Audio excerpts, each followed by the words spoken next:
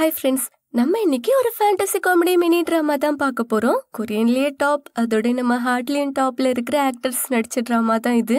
அதனால நம்ம என்ஜாய் பண்ணி பார்க்கலாம். வாங்க ட்ராமா உலகத்துக்குள்ள போகலாம்.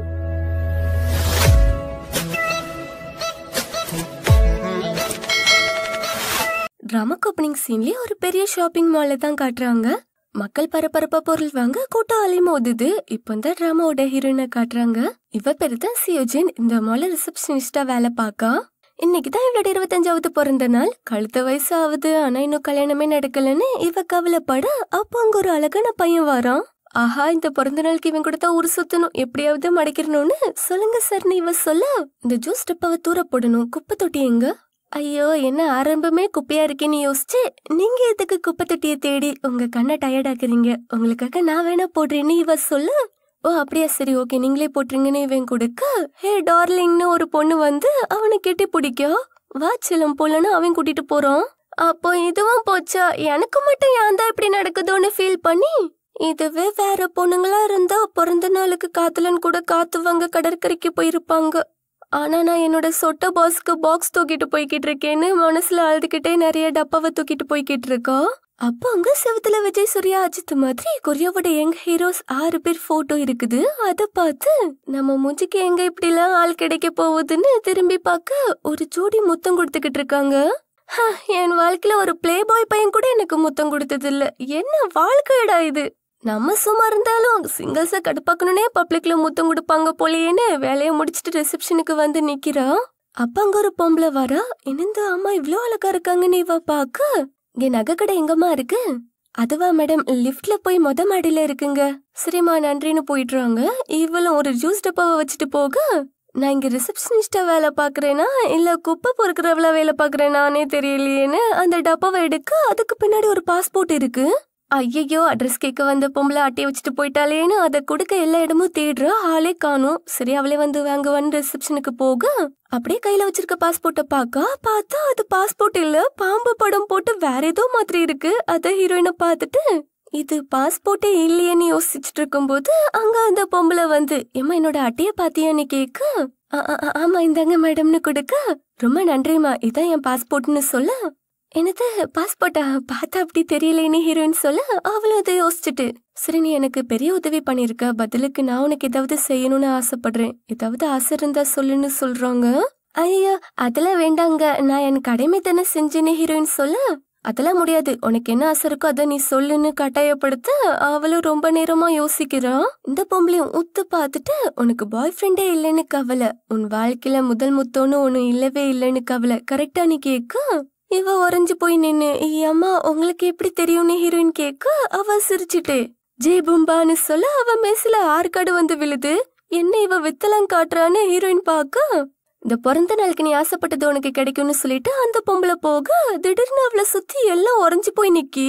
நேரமா ஆறு பத்தொன்பதுலயே நிக்குது இவளுக்கு ஒண்ணுமே புரியல என்ன நடக்க போகுதோன்னு இவ முழிச்சிட்டு பாத்துட்டு இருக்கா. மறுபடியும் எல்லாம் பழைய மாதிரி ஆகி மணியும் ஆறு இருபது ஆகுது. அப்பட நல்ல வேலைன்னு அவ இருக்க? அவளை நோக்கி ஒரு பையன் நடந்து வாரான் எல்லாரும் வாயை திறந்து வச்சுட்டு பாக்காளுங்க இவளும் பார்த்து ஷாக் ஆகுறா? பார்த்தா ஜுங்கி வந்திருக்கான். என்னது இவங்க எங்க வந்திருக்காங்கன்னு இவ அவனைய பார்க்க அவனும் என்ன ரொம்ப பிஸியா சரி வேலையை முடிச்சிட்டு சீக்கிரம் வா வெளியே போலாம். உனக்காக நான் வெளியே வெயிட் பண்றேன்னு சொல்லிட்டு போறான். இவளுக்கு ஒன்னும் புரியல. உடனே பக்கத்துல நிக்கிற ரிசப்ஷனிஸ்ட் அக்கா கிட்ட என்னக்கா ஹீரோ ஜுங்கி தான் இப்ப வந்துட்டு போனாரோன்னு கேக்கு? என்னது ஹீரோ ஜுங்கியா? உனக்கு மண்டில பிரச்சனையா? இது நம்ம ஊரு பெரிய பணக்கார ஜுங்கி தெரியாதா உனக்கு?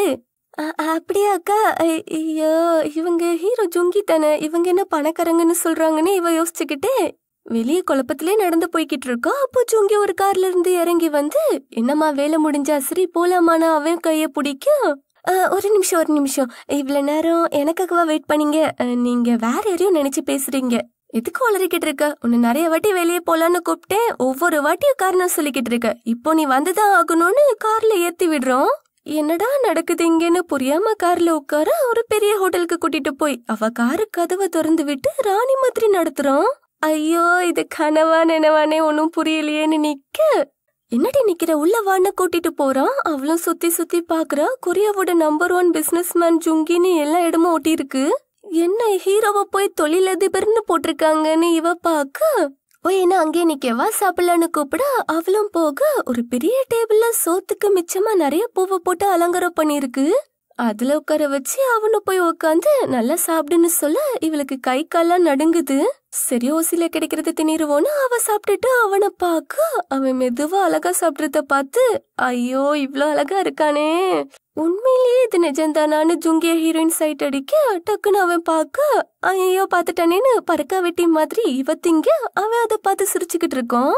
எப்படியோ தின்னு முடிச்சதும் அவனால காத்தட்டமா வெளியே கூட்டிட்டு போய் ஒரு சோஃபால போட்டு அவளை உட்கார வச்சு அவனும் கிட்ட உட்காந்து நம்ம ரெண்டு பேரும் மட்டும் இப்படி தனியா இருக்கிறதுன்னு நினைச்சா கிளிகிளிப்பா இருக்கலான்னு அவன் கேட்க என்ன என்னத்தலாமோ சொல்றான்னு அவ யோசிக்க உடனே அவன் டிவிய போட அதுல இவளோட சின்ன வயசு போட்டோல இருந்து அவ காலேஜ் போற வர எல்லாம் வருது.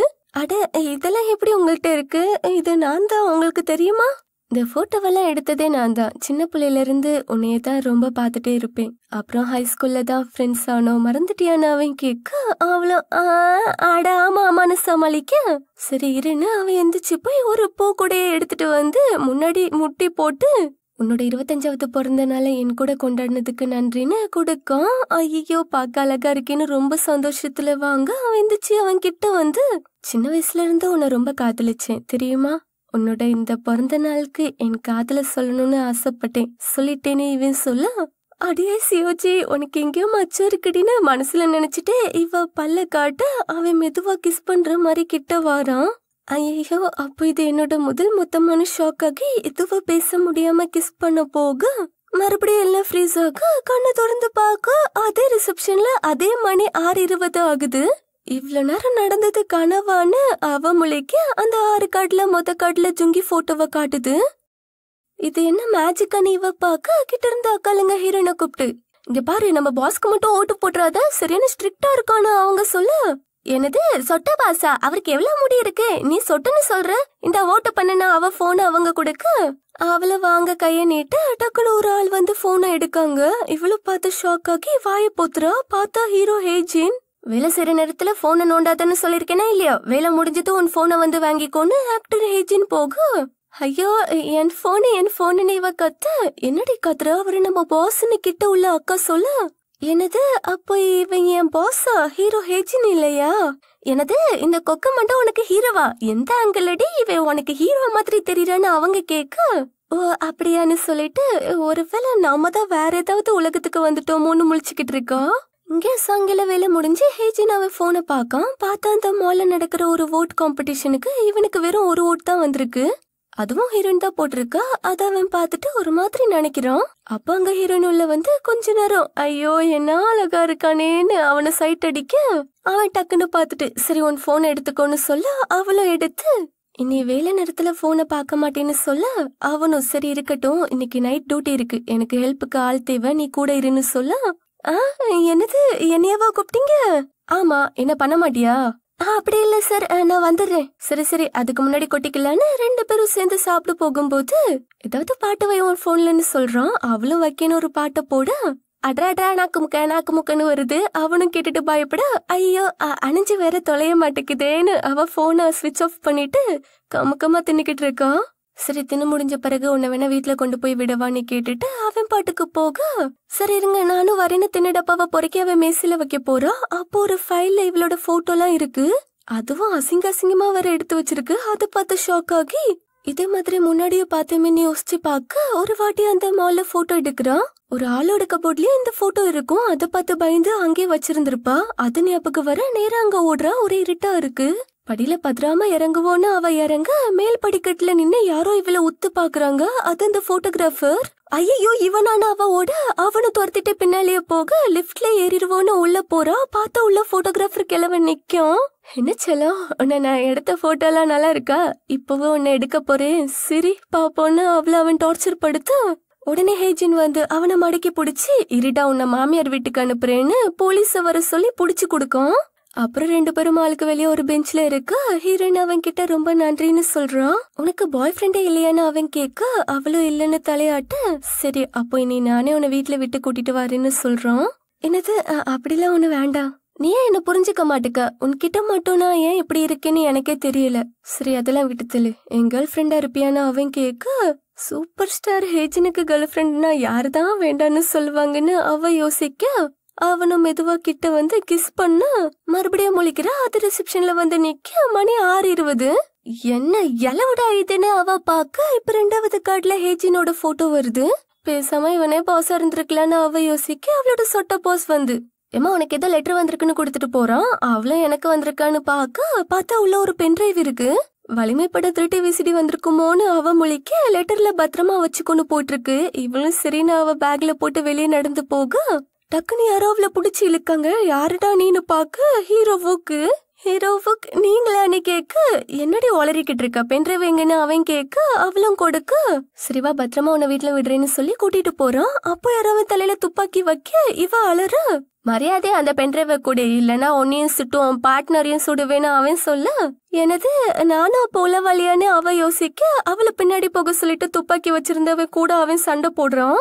அப்ப இன்னொருத்த அவனை சுட வர டே எவ்வளவு பெரிய ஹீரோடா அவரு? அவரே சுட பாக்கியான்னு ஹீரோன் அவனை லெஃப்ட் ரைட்னு வாங்கி ஹீரோ தலையில கண்ணு வச்சவனை அடிக்க கூடாத இடத்துல அடிச்சு கோமாவே போக வச்சிடுறோம் என்ன இப்போ நம்ம அடிச்சோமானே இவ ஷாக் ஆக? பரவாயில்லையே ட்ரைனிங் பண்ண போயிருந்த திறமை அப்படியே இருக்கு உனக்கு. சரி வா வீட்டுக்கு கூட்டிட்டு போறோம்? ஐயோ நம்மளுக்கு இங்க என்ன நடக்குதுன்னே புரியலையே சரி ஒரு அட்வைஸ போட்டு தொலைவோம். இந்த ஆபத்தான வேலையை நீங்க பண்ணித்தான் ஆகணுமா நீ இவ கேட்க உன்னை லவ் பண்ண போய் தான் இந்த வேலைக்கு நான் வந்தேன். அப்பவும் உன்கிட்ட இதே கேள்வியை தான் நான் கேட்டேன். இப்போ நீ கேக்குறியான்னு அவன் சொல்ல? என்னது என்னாலயா? என்னடா உளறிக்கிட்டு இருக்குன்னு நினைச்சு சரி நான் போறேன்னு அவ போக அவ கைய பிடிச்சி இழுத்து கிட்ட உட்கார வச்சு உன்னை மறுபடியும் இதுல தள்ளி விட்டேன்னு நினைக்கும் போது ரொம்ப கஷ்டமா இருக்கு. எப்போ தள்ளி விட்டீங்க இல்லை இந்த பென்ட்ரைவை தந்து உன்னை ஆபத்தில் தள்ளிவிட்டேன்ல அதை சொன்னேன். இனி நான் உன் கூட இருந்தா அது உனக்கு தான் ஆபத்து. நம்ம இனி பாத்துக்க வேண்டாம்னு சொல்லிட்டு அவன் போக. என்ன எப்படி போயிட்டான். ஐயோ அவனுக்கு அடி வரப்பட்டிருக்கேன்னு பின்னாலேயே போய் இருங்க இருங்க உங்களுக்கு அடிபட்டிருக்கு அதனால அப்புறமா போங்கன்னு ஹீரோயின் சொல்ல. நானே போகணும்னு நினைச்சாலும் நீ என்னை விட மாட்டேன்னு எனக்கு தெரியும். ஏன்னா நம்ம காதல் அப்படி. ஷபா இப்ப இவ என்னத்த ஒளரி தொலைறான்னு இவ யோசிக்க? இனி நான் உன்னை விட்டு போகவே மாட்டேன் சியோஜின்னு சொல்லி அவளை கிஸ் பண்ண. மறுபடியும் மூணாவது கடலை இவன் மூஞ்சி வந்து தொலையுது. கடவுளே இதுக்கு ஒரு முடிவே இல்லையா நீ இவ பொங்க? சொட்ட பாஸ் ஏமா வாமா உடனேன்னு கூப்பிட்டு ஒரு ஜோடிய காமிச்சு. இவங்க சைனால இருந்து வந்திருக்காங்க. எங்க யாருக்கும் சைனீஸ் தெரியாது. நீயே கவனிச்சுக்கோன்னு சொல்றாரு. டே சொட்ட தலையா? நான் எப்பண்டா சொன்னேன் எனக்கு சைனீஸ் தெரியும்னு? ஐயோ இந்த சொட்டை என்கிட்ட விட்டுட்டு போறானே. எனக்கு மட்டும் என்ன தெரியவா செய்யும்னு கூட்டிட்டு போக? அவங்களும் சைனீஸ்லயே ஒவ்வொன்னா கேட்டுக்கிட்டு இருக்கு. இவ்வளவு சைனீஸ்ல பதில் சொல்ல என்ன நம்ம வாய் தன்னால சைனீஸ் பேசுதுன்னு இவளுக்கே அவ வாயை பார்த்தா ஒரே வியப்பா இருக்கு. டியூட்டி முடிஞ்சு ஹீரோயின் வெளியே வர பஞ்சு முட்டாய் மண்டைய மாதிரி ஒருத்தன் வாரான். அவனை பார்த்து ஹீரோ கை நீங்களான்னு கேட்க என்ன கை காலி நீ எவ்வளவு தடவை ஃபோன் பண்றது நீ எடுக்கவே இல்ல. ரெண்டு நாள்ல சைனா போயிருவேன்னு உனக்கு தெரியும்ல. அப்புறம் எப்ப வருவேன்னு எனக்கு தெரியாது. இப்ப நீ என் கூட வெளியே வரணும். அவ்வளவுதானே அவ கைய பிடிச்சி இழுத்துட்டு கூட்டிட்டு போய் ஒவ்வொரு இடமா சுத்துறாங்க. இவன் கூட ஜாலியா இருக்குன்னு அவள என்ஜாய் பண்ணிக்கிட்டே இருக்கான் அப்புறம் ஒரு கடைக்கு போயிட்டு வெளியே வர மழை அடிச்சு ஊத்துது. கூட எடுத்துட்டு வரலையான்னு கேட்க எனக்கு என்ன முன்னாடியேவா தெரியும் மழை வரும்னு சொல்லிட்டு அவன் சட்டையை கலட்டியாவா தலையில போட்டு வா நினைமா ஓடிடுவோன்னு ஓடி ஒரு ஹோட்டல் போய் பர்கர் தின்னுக்கிட்டு இருக்காங்க. பர்கர் நல்லா இருக்கேன்னு அவ சைனீஸ்ல சொல்ல ஏமா நீ என் டீச்சர் தான். அதுக்கு நீ எப்ப பார்த்தாலும் சைனீஸ்ல பேசி சாவடிக்காதுன்னு சொல்ல இவள என்ன டீச்சரான்னு கேட்க என்ன டீச்சரானா சைனாக்கு போய் படிக்கணும்னு தானே உன்ட்டு சைனீஸ் படிச்சேன். மறந்துட்டியான்னு அவன் கேட்க ஓ இப்பந்தான் எனக்கு ஞாபகம் வருது. இவனோட சைனீஸ் டீச்சரா சரி சரின்னு நல்லா கொட்டிக்கிறா. இனிமே உன்னை நான் டீச்சர்னு கூப்பிட மாட்டேன்னு சொல்றான் அதெல்லாம் முடியாது. டீச்சர்னு தான் கூப்பிடணும்னு இவ சொல்ல. அவனை மூஞ்ச பாவமா வச்சுட்டு. ம் சரி சரி போன்னு சொல்றான் ஐயோ ஓவரா பண்றோமோ? காசை பண்ணுமா போவோம் போவோம். சுகமா இருக்கும்போது கூட இவன் அழகா தான் இருக்கான்னு அவனை சைட் அடிச்சுட்டு திங்கிறான் அப்புறம் தின்னுட்டு அவங்க வெளியே வர ராத்திரி ஆகிடுது. ஒரு இடத்துல பாட்டு போட்டு நிறைய பேர் டான்ஸ் ஆட நம்மளும் ஆடுவோன்னு அவளை கூட்டிட்டு போய் மன்கி டான்ஸ் ஆடிக்கிட்டு இருக்கோம். இந்த நிமிஷம் எனக்கு ரொம்ப சந்தோஷமா இருக்கு. எதுக்கு மன்கி டான்ஸ் இப்படி ஆடுறதுக்கா நீ இவ கேக்க? அப்படி இல்லடி. இனிமே நான் உன்னை டீச்சர்னு கூப்பிட மாட்டேன்னு சொல்லிட்டு அவ கையில ஒரு மோதிரத்தை போட்டு விடுறான். ஒருவேளை கவரிங் மோதிரமா இருக்குமோன்னு அவளும் ஆராய்ச்சி பண்ண அவனும் ஐ லவ் யூன்னு சொல்லிட்டு அவளை கிஸ் பண்ண மறுபடியும் அதே இடத்துல வந்து நிக்கிறான் அதே ஆறு இருபது மறுபடியும் நாலாவது காட்டுல கை மூஞ்சி வருது. இல்லாம இந்த கிஸ் பண்றதுனால தான் நான் மறுபடியும் இங்க வரேன் போல. இனி பண்ணவே கூடாதுன்னு அவ இருக்கு. அந்த ரெண்டு அக்கா வந்து சிஜி நின்னு இங்க நிக்கிற போய் ஷாப்பிங் பண்ணு. நானா? எதுக்கு? என்ன நீ இப்படி சொல்ற? உனக்காக அவர் வெயிட் பண்றாரு. போன்னு இவள அனுப்பி விட ட்ரெஸ் மாத்திட்டு இப்போ யாரு வந்திருப்பான்னு போய் பாக்குறான் ஹீரோ டெஸ்யான் வந்திருக்கான். இப்ப இவன் என்ன பண்ண போறனும்னு இவன் முழிக்க அவன் எங்கடி செல்ல போன? வான்னு கைய புடிச்சு கூட்டிட்டு போய் ட்ரெஸ் பேக்னு விலை கொட்டின பொருளா வாங்கி கொடுக்கான். ஐயோ ஐயோன்னு வாய பொழைக்க எல்லாம் வாங்கிட்டு இதுக்கு இவ்வளவு செலவு பண்றீங்கன்னு கேட்க என்னடி கேள்வி இது? இன்னைக்கு பிறந்த நாள்ல ஒவ்வொரு வருஷம் இப்படித்தானே செலவு பண்ணேன். புதுசா கேட்கணும் அவன் சொல்ல அவளும் அப்படியா சரி சரின்னு பல்லிழிச்சிட்டு ரெண்டு பேரும் வெளியே வர அங்க ஒரு பொண்ணு வந்து நின்னு எவ்வளவு தைரியம் இருந்தா எனக்கு நிச்சயம் பண்ணிட்டு இவ கூட சுத்துவேன்னு கேட்க ஹீரோயினுக்கு ஒன்னும் புரியல. மன்னிச்சிரு நான் சீ சின்னதெல்லாம் பண்றேன்னு அவன் சொல்லிக்கிட்டு இருக்கு. மேடம் தண்ணினா அந்த பொண்ணுகிட்ட வேணும்னே வேற்று வந்து கொடுக்க அதை எடுத்து ஹீரோன் மூஞ்சில ஊத்திடுறா அவளை என் மேக்கப் போச்சுன்னு அல டேசியான் கோவமாகி என்னடி ஓவரா பண்றேன்னு கேட்க அங்க இன்னொரு குண்டு பொம்பளை வாரா? அம்மா நீங்களானே இவன் கேட்க இதுக்கு மேல நிக்க கூடாதுன்னு? சரி அம்மாவும் பிள்ளையும் ஏதாவது பேசுவீங்க. நான் எதுக்கு இடையிலன்னு அவ எஸ்கேப் ஆகலான்னு போக.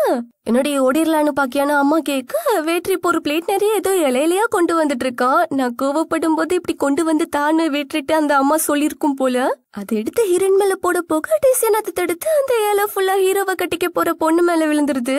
அவ அதை பார்த்து கத்து நீங்க என்ன பண்ணாலும் சரி நான் சீஜன் தான் கெட்டுவேன்னு சொல்ல ஐயோ நெஞ்சு வலிக்குதுன்னு அம்மா சொல்ல வீட்டுல வாங்க அம்மாவை கூட்டிட்டு போயிருங்கன்னு சொல்லி அனுப்பி வச்சிடுறோம். இது என்ன ஓவர் எனக்கலமா இருக்கு? பேசாம அடுத்த வர குடிமகன் கூட ரொமான்ஸ் பண்ணுவோம். இவன் வேண்டான்னு யோசிச்சு டார்லிங் வாங்க கிஸ் பண்ணிக்கலான்னு அவ போக. அவ வாயை பிடிச்சி அடிச்சு இப்ப கிஸ் பண்றதா நேரம்? நான் எல்லா பிரஸுக்கும் ஃபோன் பண்ணி வர சொல்ல போறேன்னு எல்லாருக்கும் ஃபோன் பண்ணி வர வச்சு நான் என் சொத்து பத்தினு எல்லாத்தையும் தியாகம் பண்றேன்னு எல்லா பத்திரிகைக்காரங்க கிட்டயும் மைக்ல சொல்றோம்.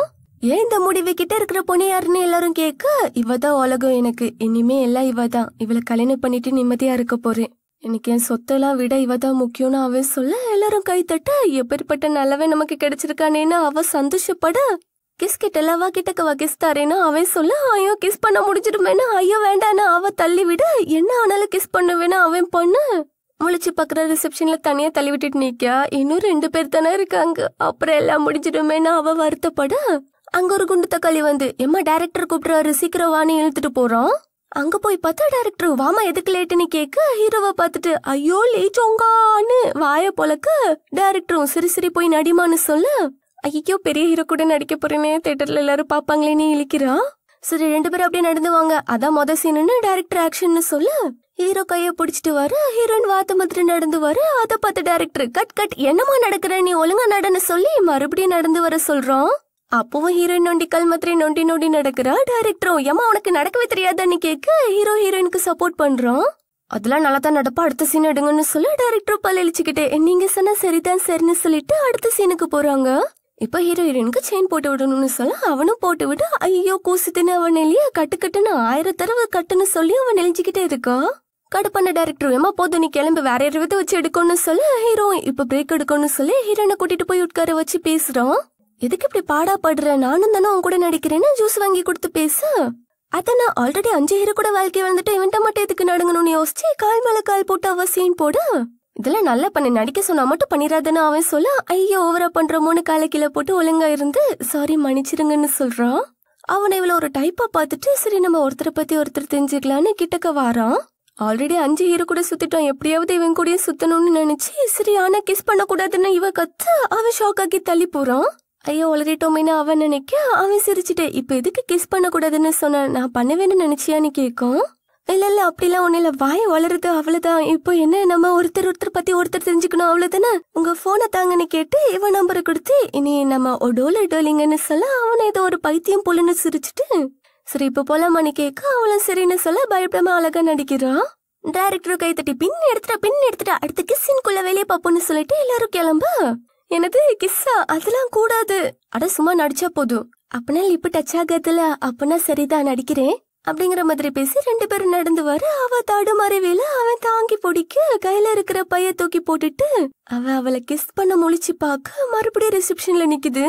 ஏமாத்துட்டியா ஏமாத்துட்டியா? அச்சா பண்ணின்னு ஆறாவது கடையும் பாக்குறா சரி அவ்வளவுதான்? அவ வாடி போய் நிக்க. பக்கத்துல இருக்கிற அக்கா. ஏமா நாளைக்கு எனக்கு பத்தில நீ வேலை பாரு. நான் என் ஆள் கூட வெளியே போறேன்னு சொல்ல முடியாது. நானும் போறேன்னு சொல்றான் எனக்கு உனக்கால என்னமா வளர்றேன்னு? அவங்க சிரிக்க நான் வளர்றேனா எனக்கு ஆறு பாய் ஃப்ரெண்ட் இருக்காங்க தெரியுமான்னு சொல்லிட்டு யார் மேல ஏதோ ரூமுக்கு போய் இச்சம் இப்படி ஆகிட்டேன்னு ஃபீல் பண்ண அந்த ஆறு கூட தந்துட்டு போன பொம்பளை வர?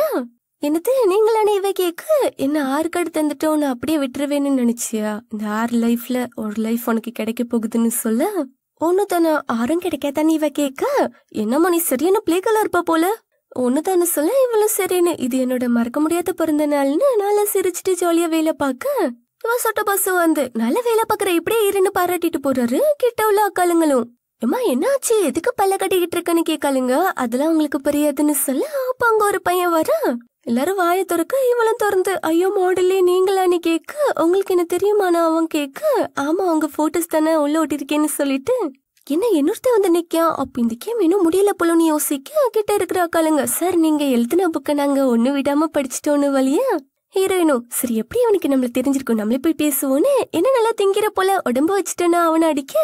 என்ன இவ இப்படிலாம் பண்றான்னு அக்காளுங்க பாக்க? சரிவா வெளியே போலாம் அதுக்காக தானே வந்திருக்க நீ சொல்ல? ஐயோ சாரி சார் சாரி சார் இந்த பொண்ணுக்கு மன வளர்ச்சி கிடையாதுன்னு அவங்க சொல்ல ஹீரோவோ நீங்க ஏதோ தப்பா நினைச்சிட்டு பேசுறீங்க. நான் புக்கை விக்கிற விஷயமா உங்க பாஸை பக்கம் தான் வந்தேன்னு சொல்லிட்டு போக. ஹீரோனுக்கு பல்ப் ஆகிருது அவனோட புக்கை அக்காளுங்க கிட்ட ஆட்டிய போட்டுட்டு ஹீரோயின் போயிடுறான். வேலை முடிஞ்ச புக்கை படிச்சுட்டு அவ வெளியே வர. மன்னிச்சிடுங்கன்னு சவுண்டு வருது. திரும்பி பார்த்தா லீ நிக்கிறான். இல்ல சொல்லப்போனா நான் தான் சாரி கேட்கணும். வேற யாருன்னு நினைச்சு பேசிட்டேன். உங்க புக்கை படிச்சு ரொம்ப நல்லா இருக்குன்னு சொல்ல அவனும் நன்றி சொல்லிட்டு இதை நீங்க விட்டுட்டு போயிட்டீங்கன்னு ஏழாவது ஒரு கார்டை கொடுக்க அவளும் பார்க்க அதுல லீயோட மூஞ்சி வருது. எல்லாம் முடிச்சு ஹீரோ காணாம போனதுன்னா காட்டுல பிக்கு வரும். இப்பவுமே வந்திருக்கு. அப்போ நமக்குன்னு ஒரு வாழ்க்கை இதானான்னு ஹீரோயின் அவனை பார்த்து சிரிக்க அவனும் சிரிக்க. நம்ம ஒருத்தரை பத்தி ஒருத்தர் புரிஞ்சுக்கலாமான்னு ஹீரோ கண்ணாலி கேட்க இப்படி இந்த ட்ராமா முடியுது. இது ஒரு மினி ட்ராமா நான் மூவியா போட்டிருக்கேன். இப்படி என்னைக்காச்சும் பார்க்கலாம். காத்திருப்பீங்களா? இருப்பீங்க இருப்பீங்க. ஏன்னா நீங்க ஜெரி டிட்ஸ் ஃபேமிலியாச்சு சரி போறதுக்கு முன்னாடி லைக் பட்டன் சப்ஸ்கிரைப் பட்டன் தட்டி விட்டுட்டு கமெண்ட் பக்கமா ஹை பை போட்டுருங்க. ரொம்ப பிடிச்சிருந்துச்சுன்னா ஃப்ரெண்ட்ஸ்க்கு ஷேர் பண்ணிருங்க. டாட்டா!